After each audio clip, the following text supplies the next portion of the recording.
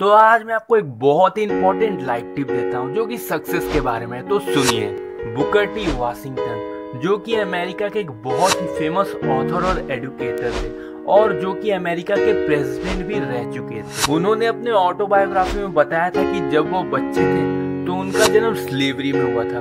उन्हें अपनी ज़िंदगी गुलाम की तरह बितानी पड़ती थी। उनको दूसरे व्हाइट्स के बच्चे, यानी जो ब्रिटिशर्स के नाजायद औलादी थी, जो कि सेम उन्हीं की एज उनको बहुत ही जेलस फील होता था कि उन्हें लाइफ में कोई स्ट्रगल नहीं करनी पड़ती थी। उनकी लाइफ कितनी इजी थी।